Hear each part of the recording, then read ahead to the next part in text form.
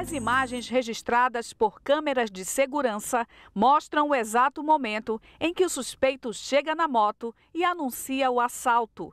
Ele saca o revólver. O rapaz de camisa vermelha aparenta calma. Deixa uma sacola no chão. Em poucos instantes, ele reage. Veja que momento tenso. A vítima tenta imobilizar o assaltante. Começa a briga. Eles caem em cima da moto. O bandido atira contra o rapaz, que escapa da fúria do motoqueiro.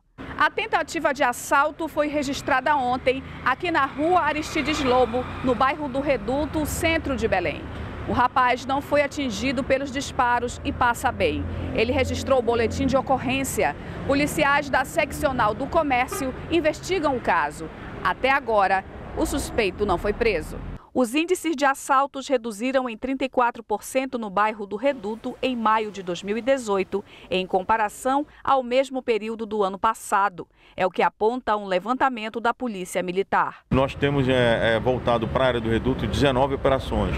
E todo final de semana nós temos um acréscimo, um aporte de policiamento, que é o policiamento nas ruas. Reagir a um assalto nunca é recomendável. Evite a reação porque você coloca em risco, se você não é treinado para isso, se não é um operador de segurança pública, você não reúne as condições satisfatórias para poder é, é, ter a sua vida, é, a sua integridade física preservada.